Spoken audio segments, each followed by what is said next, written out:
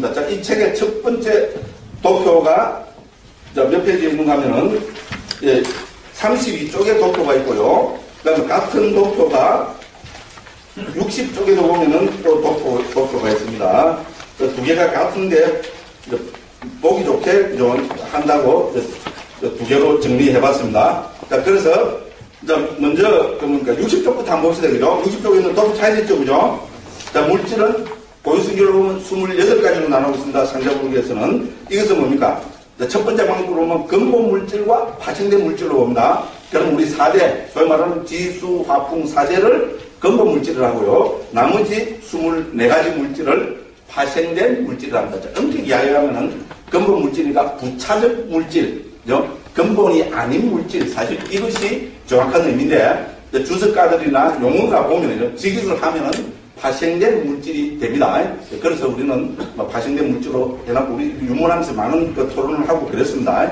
근데 이제 원어의 뜻으로 보면은 파생된 물질이 맞다 이렇게 해서 해놨습니다. 그렇게 근본 물질과 근본이 아닌 물질 당연한 이야기입니다, 그죠? 예, 그래서 그래 나누고요. 그 다음에 이거를 뭡니까? 또 다른 측면에서 보면은 구체적 물질과 추상적 물질로 나눕니다. 그래서 이 가운데 18가지는 구체적인 물질. 그래서 구체적으로 우리가 뭡니까? 예? 체득할 수 있는, 그죠? 체험할 수 있는 물질이고, 추상 물질은 뭡니까?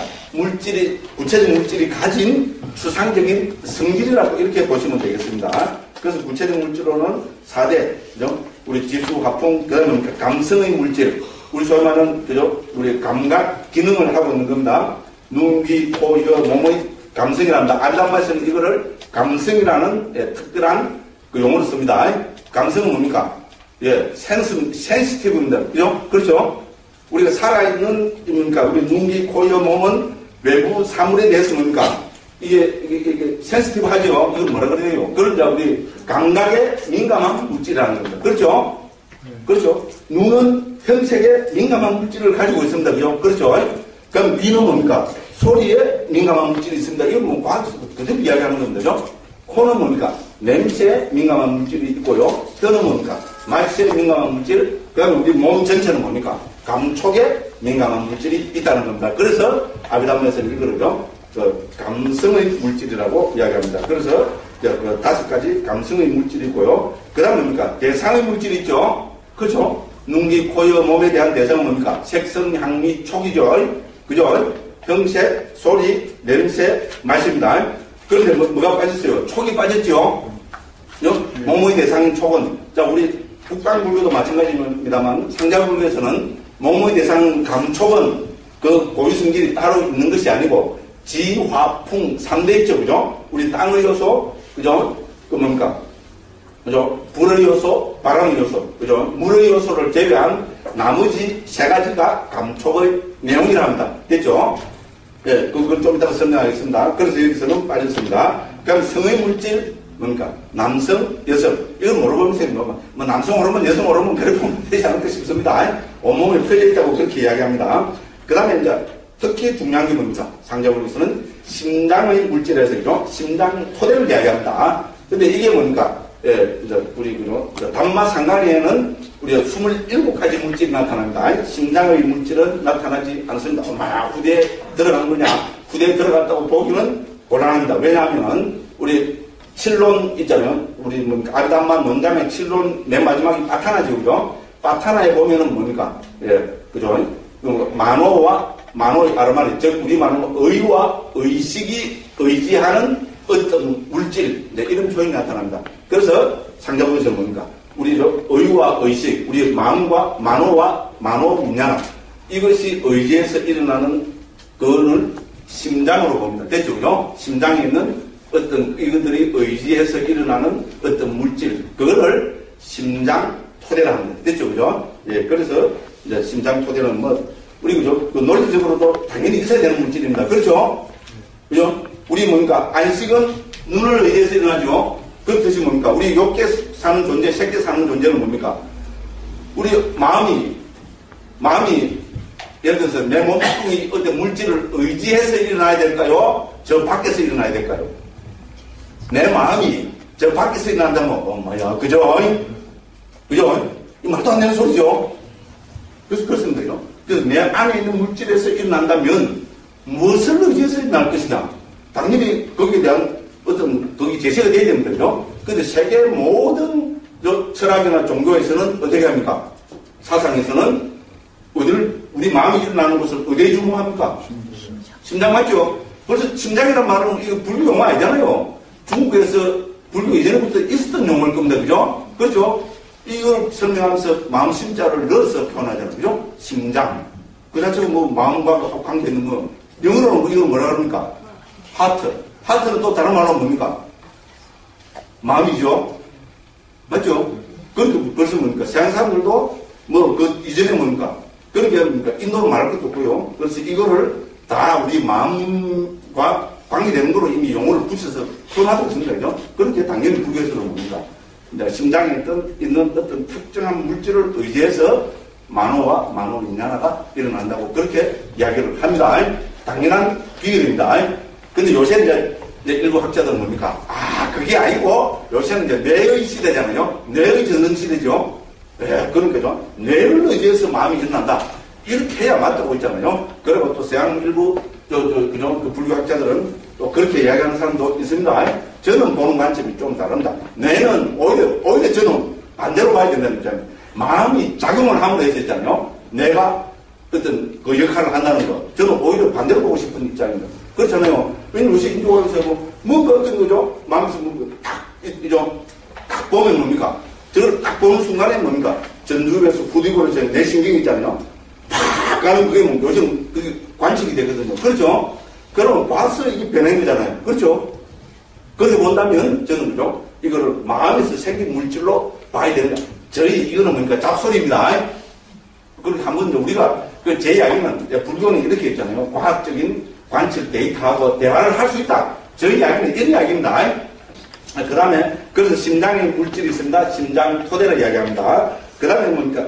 이제 생명 기능이라서 생명의 물질이 있다고 합니다. 그렇죠? 우리가 살아있는 물질하고 죽은 물질은 구분되어야죠. 그죠? 네, 그래서 살아있는 물질에 있는 것을 생명 기능이라고 합니다. 그 다음에 불교에서 뭡니까? 음식의 물질을 들고 중요시하는 거죠. 그렇죠? 왜냐면 음식은 우리 뭡니까? 우리 몸뚱이를 이게 활기차게 하고 살아있게 만드는 중요한 요소잖아요. 그래서 저, 저 음식의 물질에서 영양소를 들어보고 있습니다. 그럼 주상 물질에는 당연히 뭡니까? 암시의 물, 어, 한정하는 물질에서 흑공 요소가 있습니다. 그래서 그죠? 이제 이게 특히 인도에서 있잖아요. 불교하고 힌두교 철학이 이거 갖고 계속 문제를 내왔습니다. 그래서 뭡니까? 힌두교에서는 근본 물질을 다섯 가지로 합니다. 우리는 사대하죠. 그 사람들은 죽었다 깨어나도 5대입니다. 근본 물질을 다섯 가지로 봅니다. 뭐로 봅니까? 지수, 화풍, 흑공. 흑공을 근본 물질에 넣습니다. 됐죠? 네? 생명을 걸어놓고 이야기를 합니다. 지수, 화풍, 공. 근데 이 공은 우리가 말하는 빌공자가 아니고 흑공, 흑공, 아까시합니다. 지수, 화풍, 흑공 다섯 가지를 근본 물질로 한다. 근데 이 사람들은 왜 흑공을 근본 물질에 넣어가지고 생명을 걸어놓고 이야기를 할까요? 이 사람들은 뭐를 이야기합니까? 아트만이 실제 한다고 이야기하자면요. 불교에서는 자아라는 것은 뭡니까? 색수상 행식이 화학, 모의가 있는, 그죠? 개념에 지나지 않는다고 이렇게 봅니다. 됐죠? 근데 이 사람들은 뭡니까? 아트만이 실제 한다고 이야기합니다. 됐죠? 자, 아트만이 실제 한다면, 아트만이 의지하고 있는 물질이 있어야 되겠죠? 어, 그렇잖아요. 아트만이 내 밖에 있어요. 뭐, 밖에 뭐, 이 리모컨 갖고 뭐, 꾹 눌리가고 요래 요래 합니까? 말도 안 되는 소리죠, 그죠? 만일에 아트만이 있다면 내 안에 있어야 됩니다. 되죠? 그래서 자, 내 안에 있다면은 아트만이 뭐를 의지할까요? 땅을 의지할까요? 엄마야, 그죠? 경고성을 의지한다는 말은 이건 왜냐, 색 바뀌잖아요, 그죠? 그렇죠? 예, 말도 안 되는 소리입니다. 그럼 꽥 주고 빌잖아요, 그죠? 그럼 꽥 주고 맞으면 꽥, 말이 안 됩니다요? 그 지수, 화풍, 사대를 의지한다면은 말이 안 됩니다. 됐죠? 그러니까 뭡니까? 예. 허공을 의지한다고 합니다. 됐죠?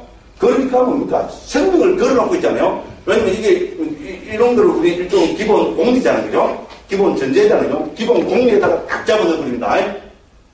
허공이 있다. 예. 우리 그 근본 물질이 허공이다. 딱 해갖고, 그걸 합니다. 왜? 허공이 있어야 아트만이 머물 곳이 있기 때문에 쓴다. 그러면 구체적으로 아트만이 내 몸뚱이 안에 어디에 머무느냐? 불교가 뭐 그러면 뭐 가만히 있을 것 같아요. 그죠? 그래도 또 이걸 갖고 뭐 논쟁을 합니다. 그럼 그 사람들은 뭡니까? 허공 심장에 의지한 그거 똑같습니다. 그것도 심장에 의지 그럼 심장 어디? 있느냐? 일어나. 실제로 갖고 온나? 안 보인다.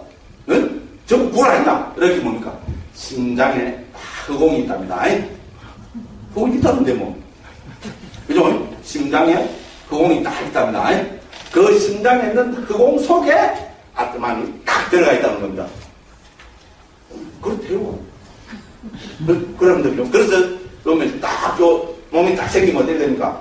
눈에는 비슷하게 똑같이 이야기하잖아요. 근데 우리하고 전혀 다른 눈입니다.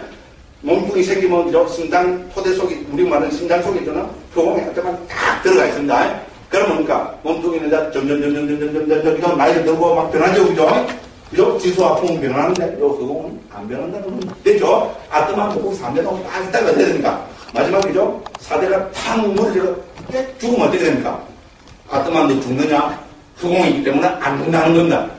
그래서 뻥 나가고 됩니까? 다음 생 몸을 받으면 또 그 몸의 뭔가 심장에 있는 뭔가 허공 속에 또 깃들어 있다는 겁니다. 됐죠? 또 몸이 저딱 죽으면 됩니까? 뻥 튀어나와고 뭡니까? 내 다음 생에 또 심장 속에 심장이 있는 허공에 머문다. 이래 된다. 그래서 제가 이 윤회를 무슨 윤회라 했습니까? 큰, 큰 소리로 이야기하겠습니다. 훨씬 행복하겠습니다. 강시 윤회. 됐죠? 예. 네. 힌두교 윤회는 강시 윤회. 좀 비하는 뜻이 있어요. 강시가 어떻게 합니까? 그죠? 네? 그 가만히 있다가 뭡니까? 그렇죠, 그죠? 어, 그죠, 하죠. 강시 이래, 이래, 이래, 이래. 중3도 상당히 좀 포가 재밌잖아요. 이게 뭡니까? 한 시간 받은 겁니다. 그 가만히 있다가 뭡니까? 또 다음 생에 죽으면 뻥. 그죠? 다음 생에 또 죽으면 뻥. 이게 윤회라는 겁니다. 근데 뭡니까? 우리 한국에서 95%가 윤회를 이렇게 생각하고 있잖아요. 맞죠? 어떻습니까? 제가 5%는 봐주세요. 왜? 초기 불교하는 사람. 초기 불교하는 사람들 중에서도 뭡니까?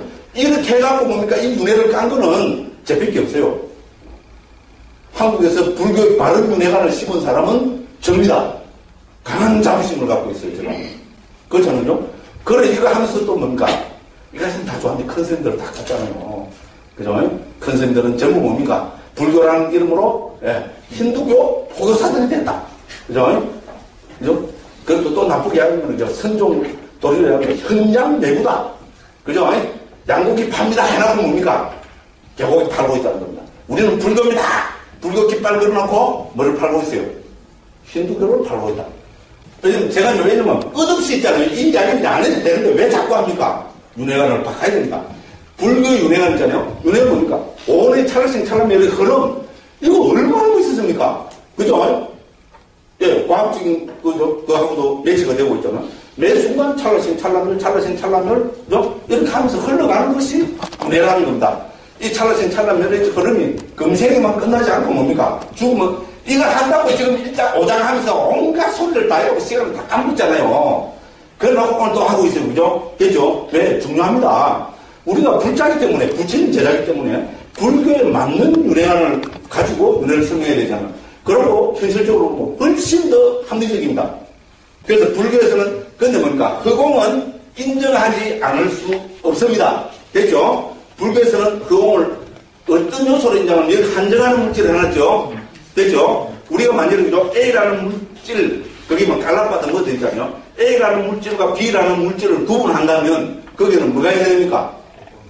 흑공이라 해서 이 구분하는 성질을 가지고 뭐가 있어야 되잖아요. 불교에서는 그 한정하는 물질, 그래서 A라는 갈라바를 한정짓는 그 역할을 하는 것을 흑공으로 봅니다. 됐죠?